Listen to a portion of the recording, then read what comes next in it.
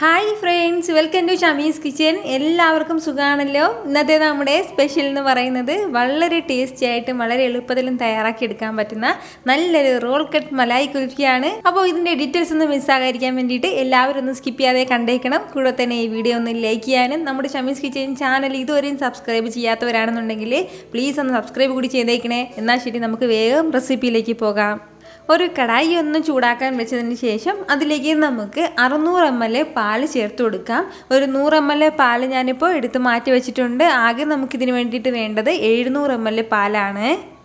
പാൽ ചേർത്ത് കൊടുത്തതിന് ശേഷം പിന്നീട് നല്ല രീതിയിൽ ഇതെല്ലാം ഒന്ന് ഇളക്കി കൊടുക്കാൻ നമുക്ക് ഇനി നന്നായിട്ട് ഈ പാലെല്ലാം ഒന്ന് ചൂടായിട്ടൊന്ന് തിളച്ച് വരട്ടെ.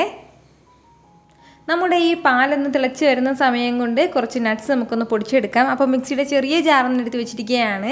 അതിലേക്ക് ഒരു കാൽ കപ്പ് അളവിൽ ഇതുപോലെ ബദാം എടുത്തിട്ടുണ്ട്. അതിൽ നിന്ന് കുറച്ച് കുറഞ്ഞ അളവിലാണ് എടുത്തിട്ടുള്ളത്. നമുക്ക് എത്രത്തോളം ടേസ്റ്റിനനുസരിച്ചിട്ട് ഈ ബദാമിന്റെ അളവൊക്കെ കൂട്ടുകയും കുറയ്ക്കുകയൊക്കെ ചെയ്യാവുന്നതാണ്. അതുപോലെ തന്നെ ഒരു പതിനഞ്ചോളം അണ്ടിപ്പരിപ്പും കൂടി. കൂടെ തന്നെ ഒരു അര ടീസ്പൂണിന് അളവിൽ ഏലക്ക പൊടിച്ചതും കൂടി എടുത്തിട്ടുണ്ട്. അപ്പം അതും ചേർക്കാം. അപ്പോൾ ഇത്രയും ചേർത്ത് കൊടുത്തിട്ട് നല്ലതുപോലെ ഇതെല്ലാം ഒന്ന് പൊടിച്ചെടുത്തിട്ട് വരാം. ദാ ഇതുപോലെ നന്നായിട്ടെല്ലാം ഒന്ന് പൊടിച്ചെടുത്തിട്ടുണ്ട്. ദാ ഇപ്പോൾ നമ്മൾ വെച്ച് കൊടുത്ത പാലെല്ലാം നന്നായിട്ട് തന്നെ ഒന്ന് ചൂടായി തിളച്ച് തുടങ്ങിയാണ്. നല്ല രീതിയിൽ ഇതുപോലെ ഒന്ന് തിളച്ച് തുടങ്ങുന്ന സമയമാകുമ്പോഴത്തേക്കും പിന്നെ ഇനി നമുക്ക് വേണ്ടതെന്ന് വെച്ചാൽ നമ്മളിതാ പൊടിച്ച് മാറ്റി വെച്ചിരിക്കുന്ന നമ്മൾ നട്ട്സ് കൂടിയിലേക്കൊന്ന് ചേർത്ത് കൊടുക്കാം. നട്ട്സ് എല്ലാം ചേർത്ത് കൊടുത്ത് കഴിഞ്ഞാൽ പിന്നെ വീണ്ടും ഫ്ലെയിം ഒന്ന് മീഡിയത്തിൽ നിന്നും കൂടി അല്പം കൂടി കുറച്ച് വെച്ച് കൊടുത്തിട്ട് വീണ്ടും നല്ല രീതിയിൽ ഇളക്കി കൊടുക്കുകയാണ്.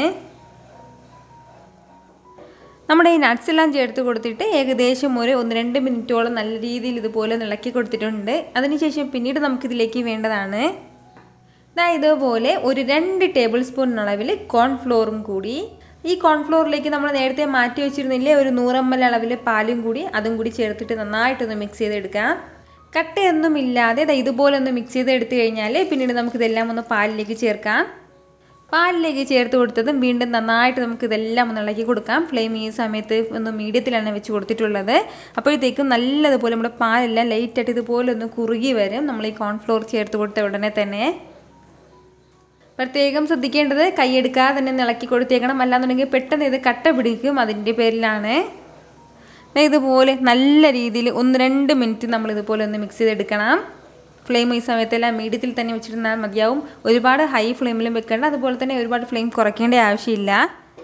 ഇതാ ഇതിപ്പോൾ തിളയ്ക്കാൻ തുടങ്ങിയിട്ട് ഏകദേശം ഒരു രണ്ട് മിനിറ്റ് കൂടി ആയിട്ടുണ്ട്. അത്രയും സമയം കൊണ്ട് വീണ്ടും നല്ലതുപോലെ ഇത് ഈ ഒരു രീതിക്ക് ഒന്ന് കുറുകി കിട്ടിയിട്ടുണ്ട്. ഒരുപാട് കോൺഫ്ലോർ ചേർക്കരുതെങ്കിൽ പിന്നെ നല്ലതുപോലെ ഒന്ന് കുറുകി പോവും. അതുപോലെ തന്നെ തീരെ കുറയാനും പാടില്ല. അപ്പോൾ ഈ ഒരു കൺസിസ്റ്റൻസി ആയിക്കഴിഞ്ഞാൽ പിന്നീട് നമുക്ക് വേണ്ടത് നമുക്ക് ആവശ്യം മധുരത്തിന് ആവശ്യമായിട്ടുള്ള പഞ്ചസാര ഒന്ന് കാരമലൈസ് ചെയ്തെടുക്കാം. അപ്പോൾ ഫ്ലെയിം ഒന്ന് ഇതൊന്ന് കുറച്ചിട്ടിട്ടാണ് ഞാനിപ്പോൾ കാരമലൈസ് തയ്യാറാക്കി എടുക്കുന്നത്. കാരമലൈസ് തയ്യാറാക്കിയെടുക്കാനായിട്ട് ഒരു പാൻ ഒന്ന് അടുപ്പത്തേക്ക് വെച്ചിട്ടുണ്ട്. അതിലേക്ക് ഒരു മുക്കാൽ കപ്പ് അളവിൽ പഞ്ചസാര ചേർക്കുകയാണ്. കൂടെ തന്നെ ഇതുപോലെ ഒരു രണ്ടോ മൂന്നോ ടേബിൾ സ്പൂൺ അളവിൽ മാത്രം വെള്ളം കൂടി ചേർത്ത് കൊടുക്കാം. അതിനുശേഷം ഫ്ലെയിം ഒന്ന് ഹൈയിൽ വെച്ചിരിക്കുകയാണ്. ഹൈയിൽ വെച്ചിട്ട് തന്നെ നല്ലതുപോലെ ഇതെല്ലാം ഒന്ന് മിക്സ് ചെയ്ത് കൊടുക്കാം. കാരമലൈസ് തയ്യാറാക്കി എടുക്കാനായിട്ട് വളരെ സിമ്പിളാണ് ഹൈ ഫ്ലെയിമിൽ വെച്ചിട്ട് ഇതിന്റെ സൈഡിൽ നിന്ന് ഇങ്ങനെ കളർ മാറി വരും. പിന്നെ പ്രത്യേകം കാരമലൈസ് തയ്യാറാക്കുമ്പോൾ ശ്രദ്ധിക്കേണ്ട കാര്യം വെച്ചാൽ അതിന്റെ ആ ഒരു കറക്റ്റ് അളവ് അതായത് ഒരുപാട് ഡാർക്ക് കളറിലേക്ക് മാറിപ്പോകാൻ പാടില്ല. എങ്കിൽ പിന്നെ ഒരു കയ്പുണ്ടാവും കാരമലൈസിന് നല്ലൊരു ലൈറ്റ് ഗോൾഡൻ ബ്രൗൺ കളർ മാത്രമേ ആകാൻ പാടുള്ളൂ.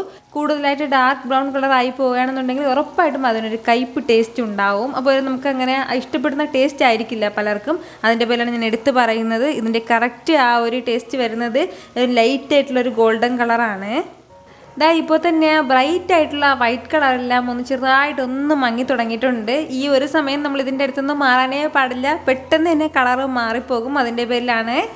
അപ്പോൾ നന്നായിട്ട് ഇതുപോലെ ഒന്ന് ഇളക്കി കൊടുത്തുകൊണ്ടേയിരിക്കണം ഫ്ലെയിം ഞാനൊന്ന് ഈ ഒരു സമയം കുറച്ച് വെക്കുകയാണ്. കുറച്ച് വെച്ചിട്ട് വേണം പിന്നീട് നമ്മൾ നമ്മളതൊന്ന് മിക്സ് ചെയ്തെടുക്കാനായിട്ട്. അല്ലാന്നുണ്ടെങ്കിൽ ഇതിങ്ങനെ പതഞ്ഞുകൊണ്ടിരിക്കുമ്പോൾ തന്നെ നമുക്കത് അറിയാൻ പറ്റില്ല. അത് കറക്റ്റ് കളർ എത്രയാണെന്ന്.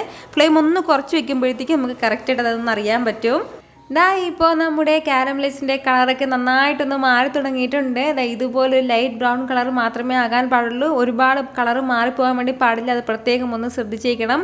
അപ്പോൾ ഇത്രയും ആയി കഴിഞ്ഞാൽ ഫ്ലെയിം ഒന്ന് പെട്ടെന്ന് തന്നെ ഓഫ് ചെയ്ത് കൊടുക്കാം. ഓഫ് ചെയ്ത് കൊടുത്തതിന് ശേഷം നേരെ നമുക്ക് തിളച്ചുകൊണ്ടിരിക്കുന്ന പാലിന്റെ മിക്സിലേക്കും ചേർക്കാം. അപ്പോഴത്തേക്കും നല്ല ഈ കാരമൽ സിറപ്പ് എന്ന് പറയുന്നത് നല്ല ചൂടാണ്. അതൊന്ന് പ്രത്യേകം ശ്രദ്ധിച്ചിട്ട് വേണം ഈ പാലിലേക്ക് ചേർക്കാനായിട്ട്. അതായത് ഒന്ന് ശ്രദ്ധയോടെ വേണം ചേർക്കാനായിട്ട്. കുറച്ച് മാറി ഇന്ന് ചേർത്ത് കൊടുക്കാം. അതിങ്ങനെ തെറിച്ച് നമ്മുടെ ദേഹത്തെ എങ്ങാനും വീഴുകയാണെന്നുണ്ടെങ്കിൽ നന്നായിട്ട് അത് പൊള്ളിപ്പോകും. അപ്പോൾ അതിന്റെ വില എടുത്ത് എടുത്ത് പറയുന്നത് കാരമലൈസും ചേർത്ത് കൊടുത്തതിന് ശേഷം പിന്നീട് നമുക്ക് നല്ല രീതിയിൽ തന്നെ ഒന്ന് ഇളക്കി കൊടുക്കാം. ഫ്ലെയിം ഈ സമയത്തെല്ലാം ഞാനിപ്പോൾ ഒന്ന് കുറച്ച് തന്നെയാണ് വെച്ചിരിക്കുന്നത്. ലോ ഫ്ലെയിമിൽ തന്നെയാണ് വെക്കുന്നത്. പിന്നീട് ഫ്ലെയിം കൂട്ടി വെക്കേണ്ട ആവശ്യമൊന്നുമില്ല. ഇതെല്ലാം നന്നായിട്ടൊന്ന് മിക്സായി ചേരണം. അതായത് ഈ പാലിന്റെ കൂടെ ഈ കാരമലൈസ് എല്ലാം നന്നായിട്ട് യോജിക്കുന്നത് വരെ മാത്രം ഒന്ന് മിക്സ് ചെയ്ത് കൊടുത്താൽ മതിയാവും. നല്ല രീതിയിൽ തന്നെ നമ്മുടെ ഈ കാരമലൈസ് എല്ലാം ഈ പാലിലേക്ക് ഒന്ന് യോജിച്ച് കിട്ടിയിട്ടുണ്ട്. ഇത്രയും ആയി കഴിഞ്ഞാൽ പിന്നെ നമുക്ക് ഫ്ലെയിം ഒന്ന് ഓഫ് ചെയ്ത് കൊടുക്കാം.